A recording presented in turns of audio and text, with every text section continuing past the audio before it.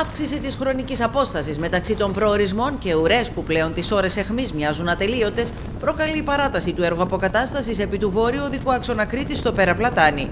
Σήμερα στις 10 το πρωί η ουρά των αυτοκινήτων έφτανε μέχρι τον κόμβο προς μεγάλα χωράφια.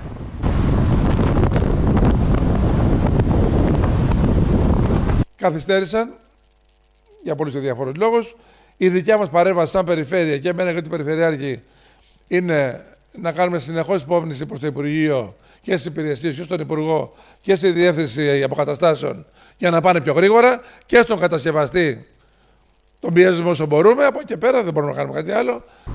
Οι οδηγοί είναι αναγκασμένοι να κινητοποιούνται ή να κινούνται σημειωτών για τουλάχιστον 20 λεπτά. Το φανάρι που έχει τοποθετηθεί συχνά απενεργοποιείται εξαιτίας της κυκλοφοριακής συμφόρησης και την κίνηση ρυθμίζουν οι υπάλληλοι του εργοταξίου.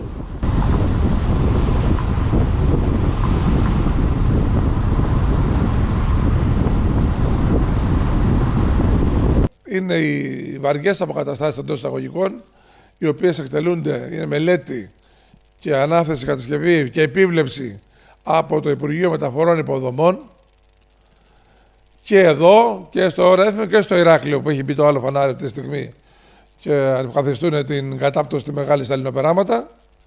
Παπηλή να κόψει το δρόμο στα δύο.